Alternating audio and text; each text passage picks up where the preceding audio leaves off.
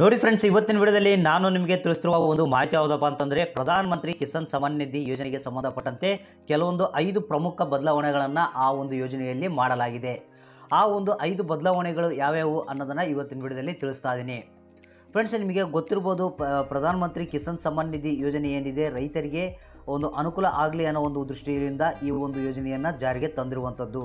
ಅಂದರೆ ಪ್ರಧಾನಮಂತ್ರಿ ಕಿಸಾನ್ ಸಮ್ಮಾನ್ ನಿಧಿ ಯೋಜನೆ ಮುಖಾಂತರ ರೈತರ ಒಂದು ಖಾತೆಗೆ ಪ್ರತಿ ವರ್ಷ ಆರು ಸಾವಿರ ರೂಪಾಯಿ ಹಣ ಏನಿದೆ ಮೂರು ಕಂತುಗಳ ಮುಖಾಂತರ ನೀಡುವಂಥದ್ದು.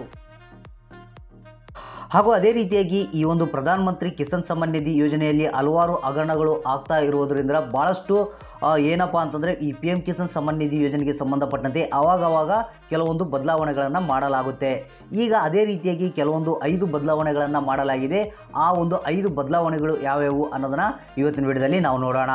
ಫ್ರೆಂಡ್ಸ್ ನೀವೇನಾದರೂ ಇನ್ನೂ ನನ್ನ ಚಾನಲ್ನ ಸಬ್ಸ್ಕ್ರೈಬ್ ಆಗಿಲ್ಲ ಅಂದರೆ ಕೆಳಗಡೆ ರೆಡ್ ಬಟನಲ್ಲಿ ಸಬ್ಸ್ಕ್ರೈಬ್ ಅಂತ ಇರುತ್ತೆ. ಅದ್ರ ಮೇಲೆ ಕ್ಲಿಕ್ ಮಾಡಿ, ಅಲ್ಲೊಂದು ಬೆಲ್ ಐಕನ್ ಬರುತ್ತೆ, ಅದ್ರ ಮೇಲೆ ತಪ್ಪದೆ ಕ್ಲಿಕ್ ಮಾಡಿ.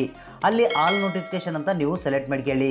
ಈ ರೀತಿ ನೀವು ಮಾಡೋದ್ರಿಂದ ನಾವು ಮಾಡುವಂಥ ಹೊಸ ಹೊಸ ವೀಡಿಯೋಗಳನ್ನು ನೋಡೋಕ್ಕೆ ನಿಮ್ಮ ಮೊಬೈಲ್ನಲ್ಲಿ ನೋಟಿಫಿಕೇಶನ್ ಬರುತ್ತೆ. ಅಲ್ಲಿಂದ ನನ್ನ ಒಂದು ವಿಡಿಯೋನ ನೀವು ನೋಡ್ಬೋದು. ಫ್ರೆಂಡ್ಸ್ ಇಲ್ಲಿ ಪಿ ಎಂ ಕಿಸಾನ್ ಸಮ್ಮಾನ್ ನಿಧಿ ಯೋಜನೆಯಲ್ಲಿ ಆದಂಥ ಒಂದು ಐದು ಪ್ರಮುಖ ಬದಲಾವಣೆಗಳು ಯಾವ್ಯಾವ ಅನ್ನೋದನ್ನು ನಾನು ಇಲ್ಲಿಗೆ ನಿಮಗೆ ಒಂದೊಂದಾಗಿ ತಿಳಿಸ್ಕೊಡ್ತೀನಿ. ಮೊದಲನೇದಾಗಿ ನೋಡ್ತಿರ್ಬೋದು ಆಧಾರ್ ಕಾರ್ಡ್ ಕಂಪಲ್ಸರಿ ಬೇಕಾಗುತ್ತೆ. ಯಾವುದೇ ಒಂದು ರೈತ ಪ್ರಧಾನಮಂತ್ರಿ ಕಿಸಾನ್ ಸಮ್ಮಾನ್ ನಿಧಿ ಯೋಜನೆಗೆ ಅರ್ಜಿಯನ್ನು ಸಲ್ಲಿಸಬೇಕಾದ್ರೆ ಆಧಾರ್ ಕಾರ್ಡ್ ಕಂಪಲ್ಸರಿ ಬೇಕಾಗುತ್ತೆ. ಇಂಥ ಒಂದು ಆಧಾರ್ ಕಾರ್ಡ್ ಏನಿದೆ, ತಮ್ಮ ಒಂದು ರೈತರ ಒಂದು ಬ್ಯಾಂಕ್ ಖಾತೆಗೆ ಆ ಒಂದು Aadhaar card compulsory link ಆಗಿರಬೇಕಾಗತ್ತೆ.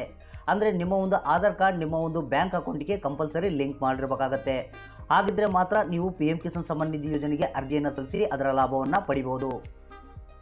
Friends, ಹಾಗೂ ಅದೇ ರೀತಿಯಾಗಿ ಒಂದು ಎರಡನೇ ಬದಲಾವಣೆ ಆದಂಥ ಒಂದು ಯಾವುದು ಬದಲಾವಣೆ, ಎರಡನೇ ಬದಲಾವಣೆ ಯಾವುದಪ್ಪ ಅಂತಂದರೆ, ಒಂದು ನಿಮಗೆ ಮೊದಲಿಗೆ ಗೊತ್ತಿರ್ಬೋದು ಯಾವ ರೀತಿ ಇತ್ತಪ್ಪ ಅಂತಂದರೆ, ಪ್ರಧಾನಮಂತ್ರಿ ಕಿಸಾನ್ ಸಮ್ಮಾನ್ ನಿಧಿ ಯೋಜನೆಗೆ ಅರ್ಜಿಯನ್ನು ಸಲ್ಲಿಸಬೇಕಾದ್ರೆ ಕನಿಷ್ಠ ಎರಡು ಹೆಕ್ಟೇರ್ ಭೂಮಿಯನ್ನು ಹೊಂದಿರಬೇಕು ಮತ್ತು ಐದು ಹೆಕ್ಟೇರ್ ಒಳಗಡೆ ಭೂಮಿಯನ್ನು ಹೊಂದಿರುವಂಥ ಒಂದು ರೈತರು ಈ ಪಿ ಎಂ ಕಿಸಾನ್ ಸಮ್ಮಾನ್ ನಿಧಿ ಯೋಜನೆಗೆ ಅರ್ಜಿಯನ್ನು ಸಲ್ಲಿಸ್ಬೋದಾಗಿತ್ತು.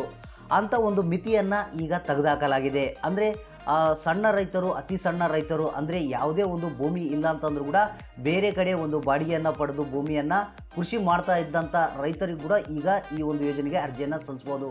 ಅಂದರೆ ಅರ್ಧ ಎಕರೆ ಮತ್ತು ಸಣ್ಣ ಪುಟ್ಟ ರೈತರು, ಸಣ್ಣ ಪುಟ್ಟ ಭೂಮಿಯನ್ನು ಹೊಂದಿರ್ತಾರಲ್ಲ ಅಂತ ರೈತರು ಕೂಡ ಈಗ ಈ ಪ್ರಧಾನಮಂತ್ರಿ ಕಿಸಾನ್ ಸಮ್ಮಾನ್ ನಿಧಿ ಯೋಜನೆಗೆ ಅರ್ಜಿಯನ್ನು ಸಲ್ಲಿಸ್ಬೋದು. ಅಂದರೆ ರೈತರಿಗೆ ಇಷ್ಟೇ ಭೂಮಿ ಇರಬೇಕು ಅಥವಾ ಎರಡು ಹೆಕ್ಟರ್ ಇರಬೇಕು, ಐದು ಹೆಕ್ಟರೇ ಇರಬೇಕು ಅನ್ನೋದು ಯಾವುದೇ ಥರ ರೂಲ್ಸು ಇಲ್ಲ. ಅಂದರೆ ಎಷ್ಟೇ ಭೂಮಿ ಹೊಂದಿದ್ರು ಕೂಡ ಅಥವಾ ಭೂಮಿ ಇಲ್ಲ, ಬೇರೆ ಒಂದು ಭೂಮಿಯನ್ನು ಪಡೆದು ನಾವು ಬಾಡಿಗೆ ರೂಪದಲ್ಲಿ ನಾವು ಕೃಷಿಯನ್ನು ಮಾಡ್ತಿದ್ದೀವಿ ಅನ್ನೋ ಒಂದು ರೈತರು ಕೂಡ ಈಗ ಪ್ರಧಾನಮಂತ್ರಿ ಕಿಸಾನ್ ಸಮ್ಮಾನ್ ನಿಧಿ ಯೋಜನೆಗೆ ಅರ್ಜಿಯನ್ನು ಸಲ್ಲಿಸ್ಬೋದು. ಫ್ರೆಂಡ್ಸ್ ಮೂರನೇ ಒಂದು ಬದಲಾವಣೆ ಯಾವುದಪ್ಪ ಅಂತಂದರೆ ಸ್ವಯಂ ನೋಂದಣಿ ಸೌಲಭ್ಯ. ಅಂದರೆ ರೈತರು ಪ್ರಧಾನಮಂತ್ರಿ ಕಿಸಾನ್ ಸಮ್ಮಾನ್ ನಿಧಿ ಯೋಜನೆಗೆ ಅರ್ಜಿಯನ್ನು ಸಲ್ಲಿಸಬೇಕಾದ್ರೆ ಮುಂಚೆ ಒಂದು ಕೃಷಿ ಕೇಂದ್ರಕ್ಕೆ ಹೋಗ್ಬೇಕಾಗು ಹೋಗ್- ಹೋಗ್ಬೇಕಾಗ್ತಿತ್ತು.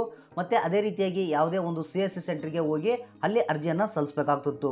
ಆದರೆ ಈಗ ರೈತರಿಗೆ ಒಂದು ಯಾವ ರೀತಿ ಅನುಕೂಲ ಅಂದಪ್ಪ ಅಂತಂದರೆ ತಮ್ಮ ಒಂದು ಮೊಬೈಲ್ ಮುಖಾಂತರ ಅಥವಾ ಸಿಸ್ಟಮ್ ಮುಖಾಂತರ ತಾವೇ ಸ್ವತಃ ಸ್ವಯಂ ನೋಂದಣಿಯನ್ನು ಮಾಡ್ಬೋದು. ಅಂದರೆ ತಾವೇ ಸ್ವತಃ ಅರ್ಜಿಯನ್ನು ಸಲ್ಲಿಸೋಕ್ಕೆ ಈಗ ಹೊಸ ಬದಲಾವಣೆಯನ್ನು ಮಾಡಲಾಗಿದೆ. ಅಂದರೆ ಮನೆಯಲ್ಲೇ ಕುತ್ಕೊಂಡು ಅವರೇ ಒಂದು ಅಪ್ಲಿಕೇಶನ್ನ ಹಾಕ್ಬೋದು. ಅಂದರೆ ಅವರಿಗೆ ದಾಖಲಾತಿಗಳು ಇದ್ದರೆ ಸಾಕು. ಆಧಾರ್ ಕಾರ್ಡು ಮತ್ತು ಆಧಾರ್ ಕಾರ್ಡ್ ಬ್ಯಾಂಕ್ ಪಾ, ಬ್ಯಾಂಕ್ ಅಕೌಂಟ್ಗೆ ಲಿಂಕ್ ಆಗಿರಬೇಕು. ಮತ್ತು ಭೂಮಿಗೆ ಸಂಬಂಧಪಟ್ಟಂಥ ಕೆಲವೊಂದು ದಾಖಲಾತಿಗಳು ಇಷ್ಟಿತ್ತಪ್ಪ ಅಂದ್ರೆ ಸಾಕು. ಸ್ವತಃ ತಾವೇ ಒಂದು ಪ್ರಧಾನಮಂತ್ರಿ ಕಿಸಾನ್ ಸಮ್ಮಾನ್ ನಿಧಿ ಯೋಜನೆಗೆ ಅರ್ಜಿಯನ್ನು ಸಲ್ಲಿಸ್ಬೋದು. ಹಾಗೂ ಅದೇ ರೀತಿಯಾಗಿ ಇನ್ನೂ ಒಂದು ಬದಲಾವಣೆ ಯಾವುದಪ್ಪ ಅಂತಂದರೆ ನಿಮಗೆ ನೋಡ್ತಿರ್ಬೋದು. ನೀವು ಪ್ರಧಾನಮಂತ್ರಿ ಕಿಸಾನ್ ಸಮ್ಮಾನ್ ನಿಧಿ ಯೋಜನೆಗೆ ಅರ್ಜಿಯನ್ನು ಸಲ್ಲಿಸಿದ್ರೆ, ಸಲ್ಲಿಸಿದ ಮೇಲೆ ನೀವು ಅದರ ಒಂದು ಸ್ಥಿತಿಯನ್ನು ತಿಳಿಯೋಕ್ಕೆ ಅಂದರೆ ಸ್ಟೇಟಸನ್ನು ಚೆಕ್ ಮಾಡೋಕ್ಕೆ ಯಾವುದೇ ಒಂದು ಕೃಷಿ ಕೇಂದ್ರಕ್ಕೆ ಹೋಗುವಂಥ ಅವಶ್ಯಕತೆ ಇಲ್ಲ, ಮತ್ತು ಸಿ ಎಸ್ ಸಿ ಸೆಂಟರ್ಗಳಿಗೆ ಹೋಗುವಂಥ ಅವಶ್ಯಕತೆ ಇಲ್ಲ. ಅಂದರೆ ಪ್ರಧಾನಮಂತ್ರಿ ಕಿಸಾನ್ ಸಮ್ಮಾನ್ ನಿಧಿ ಯೋಜನೆಗೆ ಸಂಬಂಧಪಟ್ಟಂಥ ಅಫಿಷಿಯಲ್ ವೆಬ್ಸೈಟ್ ಮುಖಾಂತರ ನೀವು ಹಾಕಿದಂಥ ಅರ್ಜಿಯ ಸ್ಟೇಟಸ್ಸು ಮತ್ತು ಪೇಮೆಂಟ್ ಸ್ಟೇಟಸನ್ನು ಎಲ್ಲ ಚೆಕ್ ಮಾಡೋಕ್ಕೆ ಅವಕಾಶವನ್ನು ಮಾಡಿಕೊಡಲಾಗಿದೆ.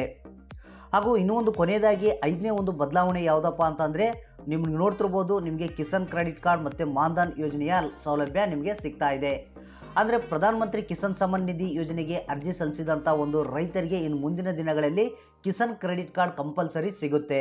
ಅಂದರೆ ಕಿಸಾನ್ ಕ್ರೆಡಿಟ್ ಕಾರ್ಡ್ ಬಗ್ಗೆ ನಿಮಗೆ ಗೊತ್ತಿರ್ಬೋದು, ಕಿಸಾನ್ ಕ್ರೆಡಿಟ್ ಕಾರ್ಡ್ ಯಾರ್ಯಾವ ಯಾವ್ಯಾವ ರೈತರು ಪಡೆದಿರ್ತಾರೆ, ಅವ್ರಿಗೆ ಮೂರು ಲಕ್ಷ ಸಾಲ ಸೌಲಭ್ಯ ಸಿಗುತ್ತೆ. ಅದು ನಾಲ್ಕು ಪರ್ಸೆಂಟ್ ರೇಟ್ ಆಫ್ ಇಂಟ್ರೆಸ್ಟ್ನಲ್ಲಿ. ಹಾಗೂ ಅದೇ ರೀತಿಯಾಗಿ ಮಾನ್ಧನ್ ಯೋಜನೆ, ಅಂದರೆ ಪ್ರಧಾನಮಂತ್ರಿ ಕಿಸಾನ್ ಸಮ್ಮಾನ್ ನಿಧಿ ಯೋಜನೆಗೆ ಯಾವ ರೈತರು ಅರ್ಜಿಯನ್ನು ಸಲ್ಲಿಸಿರ್ತಾರೆ, ಅವ್ರಿಗೆ ಪ್ರಧಾನ ಮಂತ್ರಿ ಕಿಸಾನ್ ಮಾನ್ಧನ್ ಯೋಜನೆ ಒಂದು ಸೌಲಭ್ಯ ಕೂಡ ಸಿಗುತ್ತೆ. ಅಂದರೆ ಇಲ್ಲಿ ಯಾವುದೇ ಒಂದು ಡಾಕ್ಯುಮೆಂಟ್ಗಳನ್ನು ಸಬ್ಮಿಟ್ ಮಾಡುವಂಥ ಅವಶ್ಯಕತೆ ಇಲ್ಲ. ಒಂದು ವೇಳೆ ಈ ಪ್ರಧಾನ ಮಂತ್ರಿ ಕಿಸಾನ್ ಮಾನ್ಧನ್ ಯೋಜನೆ ಬೇಕಪ್ಪ ಅಂತಂದರೆ ನಿಮಗೆ ನೀವು ಒಂದು ಅರ್ಜಿಯನ್ನು ಸಲ್ಲಿಸುವಾಗ ಡೈರೆಕ್ಟಾಗಿ ಅಲ್ಲಿ ಸೆಲೆಕ್ಟ್ ಮಾಡ್ಕೊಬೋದು ಈ ರೀತಿಯಾದಂಥ ಒಂದು ಕೆಲವೊಂದು ಐದು ಬದಲಾವಣೆಗಳನ್ನು ಈ ಪ್ರಧಾನಮಂತ್ರಿ ಕಿಸಾನ್ ಸಮ್ಮಾನ್ ನಿಧಿ ಯೋಜನೆಯಲ್ಲಿ ಮಾಡಲಾಗಿದೆ ಅಂತಲೇ ಹೇಳ್ಬೋದು.